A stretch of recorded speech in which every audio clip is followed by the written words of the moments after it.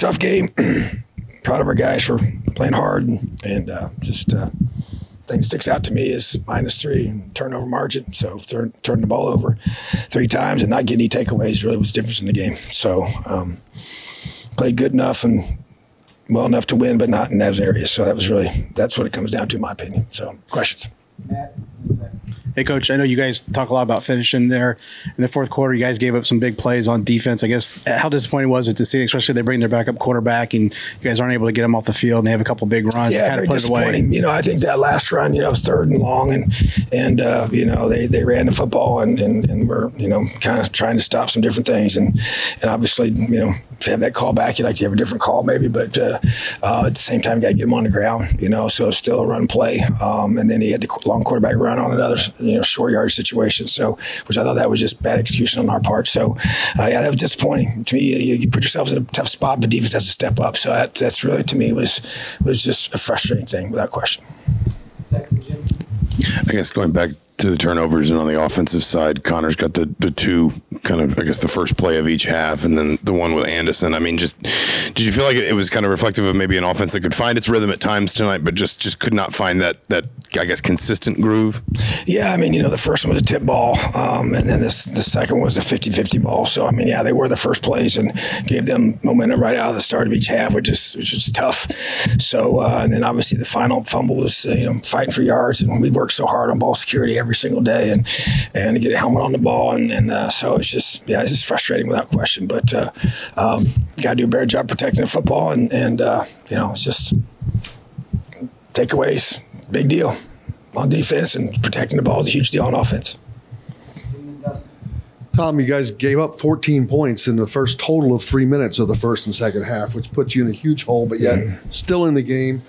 What do you guys have to do, though, to stop making those mistakes and being able to be in a position to win, even though like you almost were today, but without those 14 points, is a completely different ballgame. Yeah, there's no question. Yeah, it's just so frustrating for me. Um, I haven't had this type of pattern continue like this. It's just uh, uh, hard to put a finger on. You know, obviously we've changed so many different things practice wise and trying to emphasize the, the strong starts and they've been they've been big things that have given up points and and uh, um, yeah, just to me we got to go back and continue to look at different ways to try and create.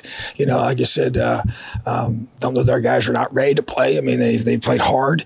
Uh, they've been locked in. It's just and that this one today just seemed kind of you know just not able to um, you know come up with the a play on defense to get a stop, and then you give the ball away, you know, right out of the gate. And it just kind of sets everything off to a negative tone. And, and, you're right. I mean, outside of those two, it's, but they are part of the game, so you can't separate them. But it's just frustrating. There's no doubt. Tom, you've obviously talked a little bit about mistakes. I mean, there was one play I think where you know you guys had uh, a stop basically, and Monster gets called for the unsportsmanlike. Just what did you see there basically, and what did you know? I, I didn't get a great look at it, but what did you see him do, and what did you? You know, I just don't see that about call being made in that situation. That's my opinion. So Jack. I just don't see it. Hey, Tom, uh, second game now without Cam and Jaylin. Just how do you think the defense is adapting to those losses, and, and what areas do you need to see improvement from moving forward? Yeah, I mean, you know, you lose two elite players. It's hard, but uh, other guys are stepping up. You know, it's been, uh, um, yeah, it's made it more difficult without a question. But, uh, you know, hopefully we get uh, Jaylin back here who has a chance to come back sooner probably than Cam. So, but uh, hope we get him back here soon. But yeah, we need those guys. There's no doubt about it. We need everybody. But uh, um, you know, you had uh, Bradley Lanier got a huge sack right before half there, which was really huge for his confidence and his execution was tremendous on that play. And and we worked hard on that. And and uh, so uh, other guys are rising up and doing things. But obviously, it hurts to lose to all Big Ten guys. And and uh, Cam was playing at all American level, in my opinion. So yeah, you don't just replace guys like that. Obviously Tagovailoa is a really good player that you have to prepare a lot for to be able to play. First off, I guess what was your game plan going in uh, against him, and when he went out, I guess did you see it kind of change mentalities in in your defense or the way they were going about anything against the backup? Well, you know, we were trying to prevent the explosive pass plays. You know, that's something he does really, really well, and he creates them with his legs as well as just in the, in the the uh, flow of the of the drop.